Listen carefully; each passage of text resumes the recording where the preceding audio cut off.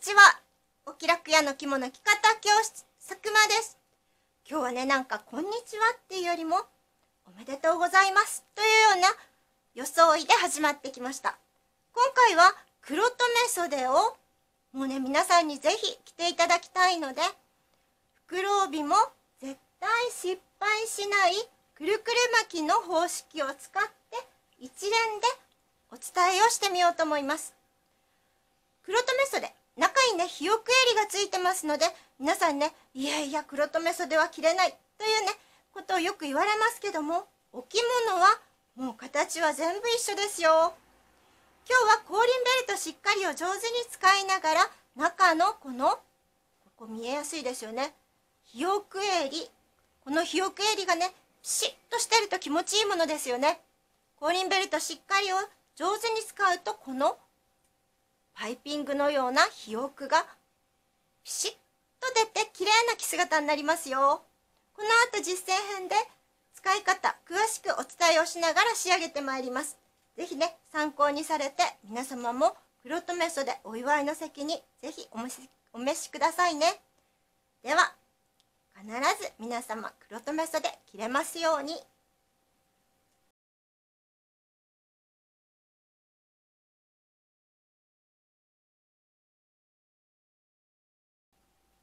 それではこれから黒留め袖と柄がバッチリ出るくるくる巻きの方式で20台個結んでみようと思います。使うものはね何も変わったものを使う必要はないです。いつものお着物を着る時のものを使っていきますけども黒留め袖ですからひよくがあります。ひよくを着る時には中のひよく襟が緩まないように。是非ね後輪ベルトしっかりお使いになってみてください。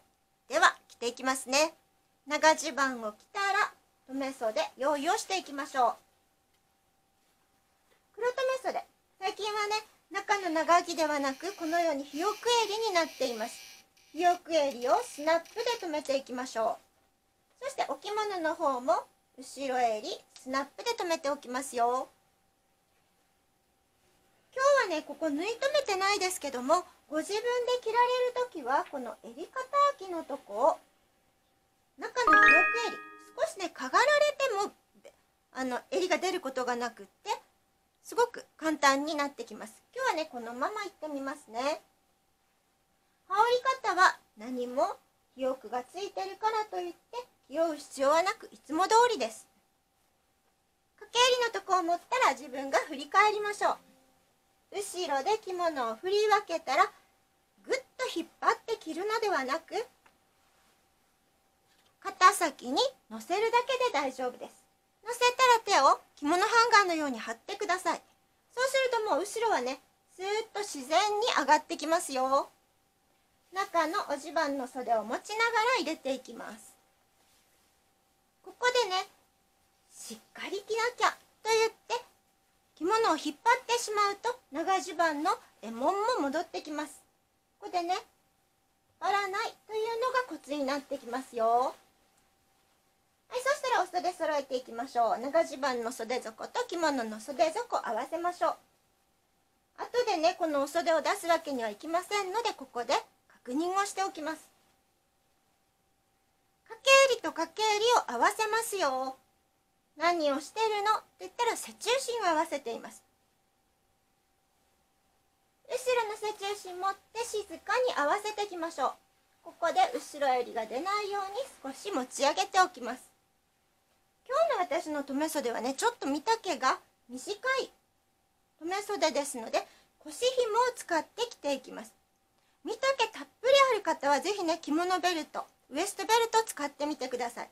1日楽に着ることができますよ。見丈を上げていきましょう。もうねしっかりと床スレスレです。上前しっかり黒留め袖は裾模様ですから上前しっかりと見せるようにたっぷり取っていきますよ。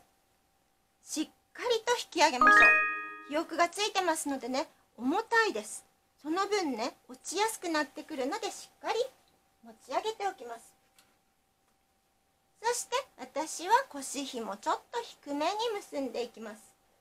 見丈しっかりある方はウエストベルトぜひウエストの位置で結んでみてください。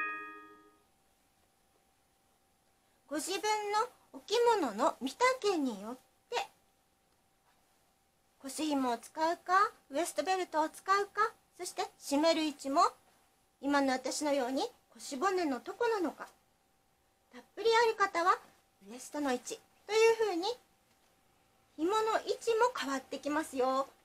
ですからご自分の着物の見丈よくね把握をしておいてください。後ろもたるみがない程度。これでお草履履いてまいりますのでねもう下がしっかりとつくように着ていきましょう。下前もしっかりと引き上げておきます。おはしゃり切っていきます。はい手が棚入れていきます。ずいぶんとね私腰紐今日は下に締めてる。いつもとね違う位置だなと思われるかもしれませんけどそれでも今日はねギリギリの長さになってきます。はい掛け襟もう一回合わせましょう。そしたらここで襟幅取っていきます。後ろまで沿わせて中心合わせていきますよ。まず右側下前の方から合わせていきます。ひよく襟うっすらと出るようにです。もう本当にねパイピングのように細くです。お洋服のパイピングありますよね。それと同じように細く出していきますよ。反対も一旦合わせていきましょう。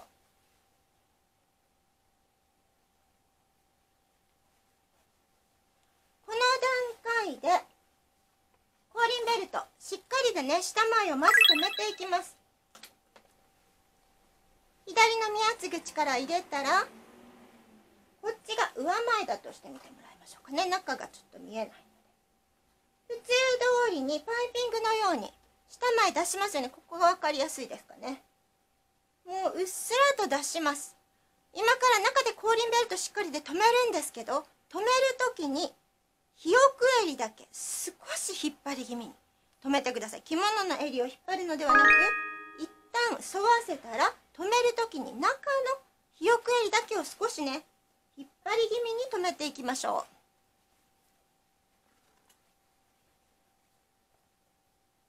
う。ここがねひよく襟がダブダブしない後でねピシッとするコツになります。お着物の襟を引っ張らずにひよくの襟だけ引っ張っていきましょう。そして中で一重上げ。はい上前合わせていきましょう。鏡を見ながら左右の襟均等に出していきます。一重上げしたらそのまま後ろです後輪ベルト。引っ張らずに乗せているだけ。そのまま脇にきます。このダブダブ。上から撫でるだけ。そして上前。合わせたらもう一周ぐるり。上前止める時も一緒ですよ。一旦沿わせたもの。ひよこの襟だけを引っ張りましょう。そして一旦なだらかに合わせて後ろのたるみを取っていきましょう。これでねぴったりと後ろ合ってくれますよ。後ろの走り長いなと思われる方は一旦撫で上げてみてください後ろに。スーッと撫で上げて静かに下ろしてみてください。そうすると長さがぴったりと案外合ってくれますよ。後輪ベルトしっかりいいとこはギュッと締めてないですからここで襟も直せるということですよね。均等に出してたるみはクリップキュッキュッキュッと引き下げるだけです。そしたらここで伊達締めで押さえていきます。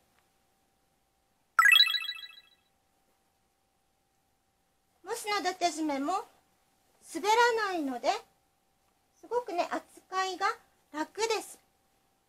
今日のように肥沃になってどっしりとした着物どうしても落ちやすくなってきます。そういう時もね幅広のもので押さえてあげると扱いやすくなってきますよ。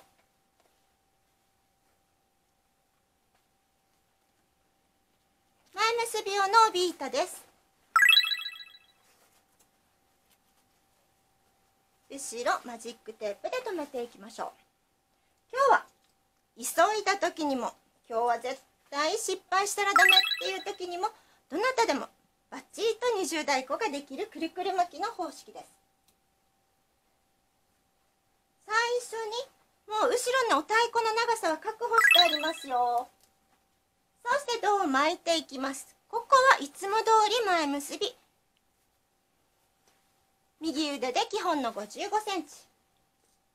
真ん中のクリップで留めたら手先を上げましょう。お袖を上げて回っていきます。55の時そしてねこういう留め袖の帯普段あんまり使わないわっていう時はねパタパタ沿いが悪いので落ちてきます。落ちてきても気にせずにここで重ねてください。1回目の引き締め。結び慣れない帯は体に添えにくいです。そういう時はポンポンと叩いてあげましょう。はい2周目です。2回目の引き締め。左手で後ろまで行って1周目をつまんでおいて。はいじわーって引き締めです。手先を下ろしたら真ん中のクリップ取って。おへその少し右脇で止めておきましょう。手先を左胸の前に移動したら裏返しです。今日はねひねる方法でお伝えしていきますよ。はいタレも下から折り上げて。手先を上に重ねて下から握り込みましょう。引き合いです。キュッとひねったら手先は左脇。下のクリップを取って止めておきましょう。はいもうここでお太鼓はできてます。帯だまりちょん。ひねり目の上に置きますよ。そしてここの帯揚げ。この中にはもう枕の紐仕込んでますのでこのまま後ろです。仮結びをしていきましょう。ここはあまりしっかり結ぶ必要ないです。結びにくいなと思われる時はひねってここからげておいてくださっても大丈夫です。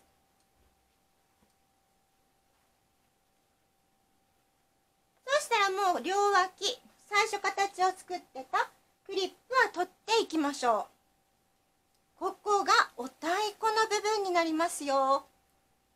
もう柄出しをちゃんとしてありますのでここここ下のタレとお太鼓の柄もぴったり合うんですね。お気楽バンドでお太鼓の大きさ作っていきましょう。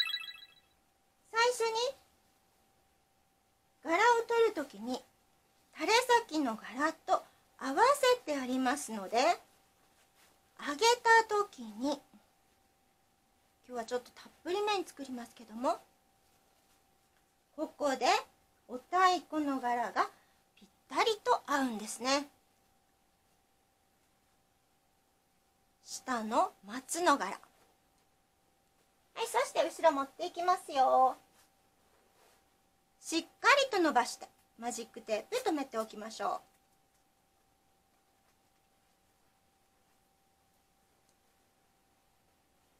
う。長いなと思われたらここで前結びいいとこ。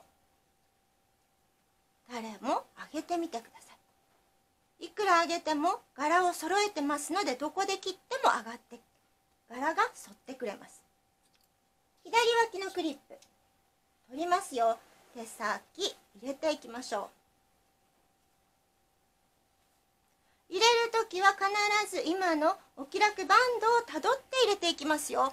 二重太鼓入れるとこがねたくさんありますのでここで入れるとこを間違えては後でねパラッと出て落ちてきますよ。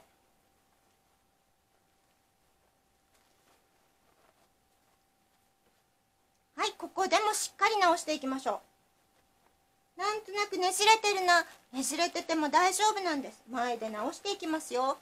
タレあちょっとこっちが長いなと思ったら上げていきましょう。これが前結びのいいとこです。帯締め入れていきます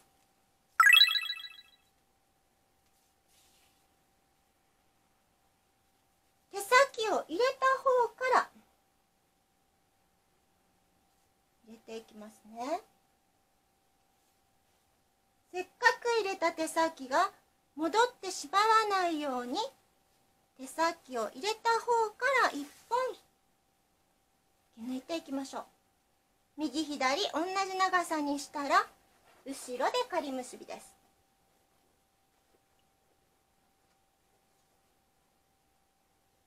一回結んだらここのコツは結んだ近くでひねる。というところがコツになります。遠くでひねるとねやはり緩んできますよ。帯締めを入れたらお気楽バンド取っていきましょう。はい最後の最後。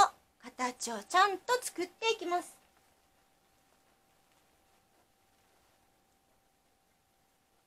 綺麗に山枕が体に沿ってるかなというのもここで確認をしていきましょう。で回します。右の袖を上げたら左脇。帯板はつかみませんよ。持ち上げながら回していきましょう。タレの両端を触ってお尻に対して入ってるかなと確認をします。はいここで。帯締めの中に入ってしまう。枕の紐をまず結び替えていきましょう。帯揚げの中には枕の紐が入っています。枕の紐は帯の上で。はい軽く結んでおきましょう。後ろ。軽く結んでますからね。お太鼓ちょっと緩みがち。ですけどもこのコブをしっかりと奥に入れていきます。ここで結んだもの指先この辺にありますよ。しっかりと中まで入れていきますので背中はぴったりと反ってくれます。まず帯締めです。右左長さを整えてたるみを取っていきましょう。しっかりと後ろまで。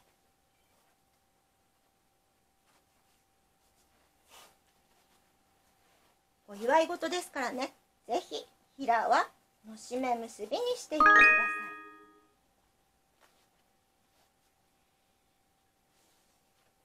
い。房は上に跳ね上がるようにです。